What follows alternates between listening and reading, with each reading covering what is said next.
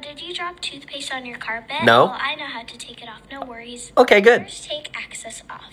As much as excess as possible.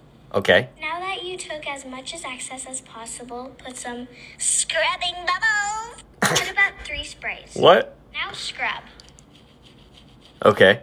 Now put some water. Right on. Let it sit for about 10 seconds. Okay. Two, three, four, five, six, seven, eight, nine, ten. Now put any shampoo or soap you like. Scrub. As you can see, some of the color is coming off. You're right. Scrub as hard as possible. It is getting lighter. Now put three pumps of cleanser. Okay. Scrub again. Put lotion. I just don't think this is gonna work. It sounds like it pooped, but it's fine.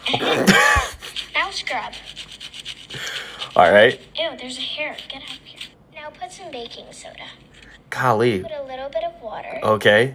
It's a lot of so steps. that the baking soda can melt. Now scrub gently. I would have just Now poured put some Glossier. carpet cleaner on it and called it a day, Three but all right. pumps is good. Actually, maybe five. Scrub again. All right. Scrape. Okay. Put some water. It does look like it's getting less. Again for 10 seconds. Okay. Two, three, four, five, six, seven, eight, nine, ten. Put whatever soap you like again and scrub. Scrub as hard as possible. Okay.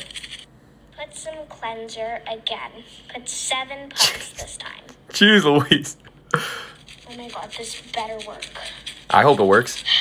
Oh, and thank you guys for all the support and the 5,000 followers. I really appreciate Hey. you guys. You growing, Now you growing. scrape.